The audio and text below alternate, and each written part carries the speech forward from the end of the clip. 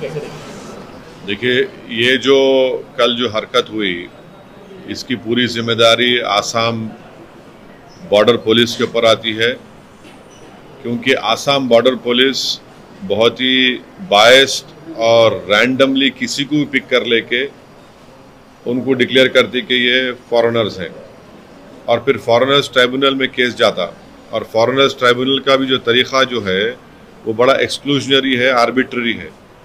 और तीसरी बात यह है कि सेक्शन नाइन ऑफ़ जो ऑफ़ द फॉरनर्स का एक्ट है, उसमें बर्डन ऑफ़ प्रूफ जिन पे आर्बिट्रेज पे लगाया जाता है कि ये भारत के नागरिक नहीं, उन पे आ जाता है। तो इसीलिए ये जो पूरा प्रोसेस है, इसके बारे में आप थोड़े दिन पहले रहीम अली का एक केस हुआ था सुप्रीम कोर्ट में, जिसमें सुप्रीम कोर्ट ने कहा था कि ये ये पूरा प्रोसेस ग्रॉस इनजस्टिस है और इसीलिए ये आसाम की बॉर्डर पुलिस और फिर वहाँ का जो फॉरेनर्स ट्राइब्यूनल है इनका जो तरीक़ा है बड़ा आर्बिट्री है और इसी की बुनियाद पे आप देख रहे हैं कि आसाम में एक फैमिली में अगर छः लोग हैं तो एक आदमी को बोलते ये इंडियन सिटीजन नहीं है। कैसा हो सकता है बोलिए?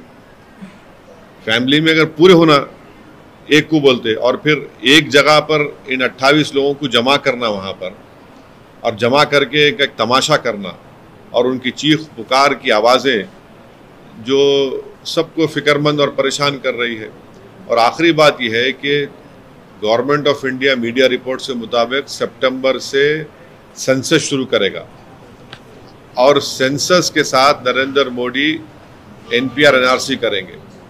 जो स्टेट्स, जैसा तेलंगाना है, यहाँ पर तेलंगाना के असेंबली में एक रेजोल्यूशन पास हुआ असेंबली में यूनानिमस के सेंसस होगा, मगर एनपीआर, एनआरसी नहीं होगा। मगर मोदी ये चाहते कि सितंबर में सेंसस होगा तो एनपीआर एनआरसी के साथ कराया जाए।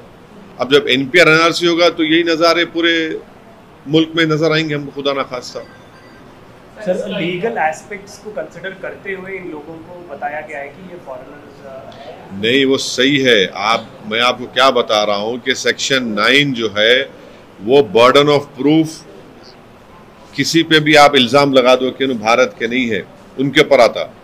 दूसरा है कि आसाम की जो बॉर्डर पुलिस है रैंडमली किसी को भी उठा सकती है और उनको बोलते कि नो सिटीजन नहीं है।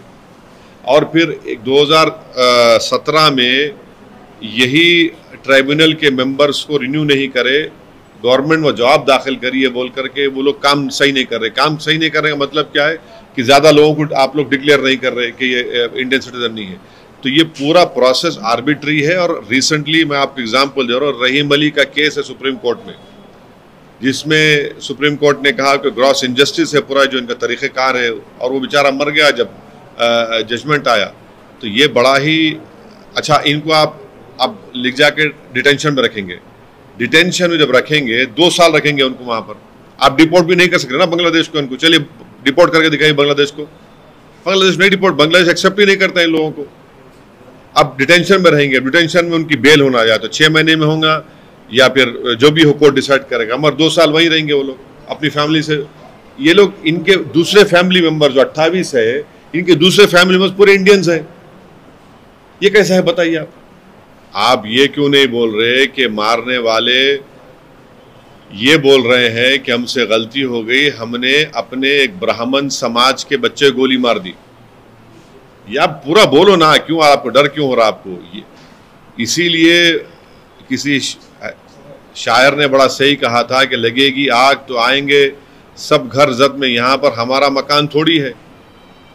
अब अफसोस की बात यह है कि उन जालिमों को एक मासूम बच्चे की जान लेने के बाद कह रहे हैं कि हमारे से गलती हो गई, हम एक ब्राह्मण को गोली मार दिए। अरे तुम एक इंसान को मार रहे भाई, उन्हें ब्राह्मण हो, हिंदू हो, मुसलमान हो, उन्हें इंसान है।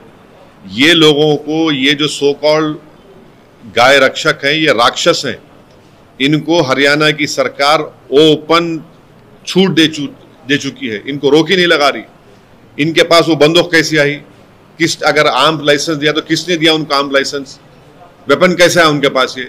और कैसा वो किसी किसी को रैंडमली कैसा रोक रहे हो लोग? रोड पे रोक रहे हो, बच्चा नहीं रोका, निकल गया, गोली चला दी ऊपर उसके ऊपर। एक माँ अपने, एक भाई अपने घर में एक बच्चा की मौत हो गई। चाहे वो किसी मज़हब का हो तो ये हरियाणा सरकार जो है इस तरह के राक्षसों को प्रमोट कर रही है। इनको वेपन्स दे रही है और उनको रोड पे खड़ा कर रही है। क्या पुलिस क्या अपना इन, अपनी ड्यूटीज़ क्या पुलिस हरियाणा इनको दे चुकी है क्या? दो बच्चों का जो ज़िंदा जला दिया गया था राजस्थान के, उसके बाद भी बावजूद भी वो लोग इन तमाम विजिलेंटीज को कानून अपने हाथ में लेने दे और जान जान, जाने चली आ रही है लोगों की। मैं डीजीपी साहब तेलंगाना डीजीपी से बात किया हूँ और कल जैनूर में एक आ, लेडी के ऊपर कुछ हमला हुआ मोलेस्टेशन हुआ। ये न्यूज़ मेरे पास है। वो सही है नहीं है वो बाद में मालूम होगा। फिर ये भी मालूम हुआ कि एक ऑटो ड्राइवर को अरेस्ट भी करे जेल को भिजा दिए। आज जो मेरे पास न्यूज़ है कि एक मस्जिद के ऊपर वहाँ पर कुछ कोशिश की गई। मैं वीडियोस देख रहा हूँ, अगर सच है, नहीं है, मुझे नहीं मालूम। मगर डीजीपी ने मुझसे एश्योर किया है कि वो मॉनिटर कर रहे हैं एडिशनल फोर्सेस भी जा रहे हैं। हम अमन की अपील कर रहे हैं, हम तेलंगाना की सरकार से अपील कर रहे हैं कि किसी को भी कानून अपने हाथ में लेने की इजाज़त नहीं देनी चाहिए। और जो भी वायलेंस में इंडल्ज कर रहा है, उनको पूरों को पकड़ने की ज़रूरत है। ऐसा नहीं हो सकता कि जो चाहे किसी के दिल में आ जाए और मैं हरकत कर लूँ मैं किसी के घर पे जाके मोटरसाइकिल को डैमेज करूँ या घर को डैमेज करूँ या किसी की वो जला दूँ मैं। कानून की सुप्रीमेसी होना चाहिए, रूल ऑफ़ लॉ की सुप्रीमेसी होनी चाहिए। ऐसा नहीं हो सकता कि कोई मॉब आए और जो चाहे मनमानी कर ले। तो मुझे उम्मीद है, क्योंकि डीजीपी मुझे अश्योर किया है, और हम हम उम्मीद करते हैं कि वहाँ के एसपी, जो आसिफाबाद के एसपी है, वो फ़ौरन हालात को नॉर्मलाइज करेंगे और जो कोई भी इस वायलेंस में इन्वॉल्व है उनको पोरों को इमिडिएटली अरेस्ट करके उन उनको उनको जेल को भिजाया जाएगा और कोर्ट से उनको सजा दिलाई जाएगी। एच न्यूज़ को लाइक करें शेयर करें और सब्सक्राइब करना ना भूलें।